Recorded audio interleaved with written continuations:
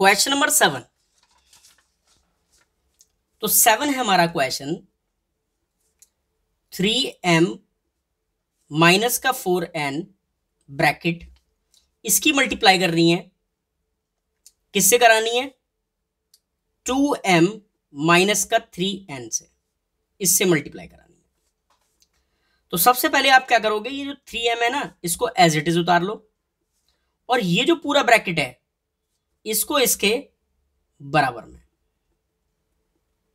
ठीक है? अब थ्री एम उतार दिया, बचा क्या? माइनस का फोर एन तो सिंबल के साथ में आप ऐसे उतारो और इसको जस्ट इसके बराबर में। ठीक है? अब देखिए। इसकी मल्टीप्लाई इससे होगी और इससे होगी। तो पहले हम इसकी मल्टीप्लाई इससे कराते हैं। तो थ्री टू ज़ा सिक्स और m की मल्टीप्लाई m से कराओगे ना तो m की पावर टू आ जाएगा। फिर इसकी मल्टीप्लाई इससे करानी है तो थ्री की थ्री से कराएँगे तो क्या आएगा माइनस का नाइन क्यों? क्योंकि ये माइनस है। थ्री थ्री ज़ा नाइन और m की n से कराओगे तो एम एन ठीक है?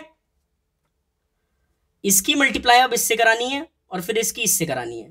तो पहले हम इसकी इससे कराते हैं। तो फोर टू ज़ा एट और वो भी किसका? माइनस का, इस माइनस की वजह से। एट, और एन की एम से कराओगे तो ए बी सी डी में एम पहले आता है और एन बाद में। ठीक है?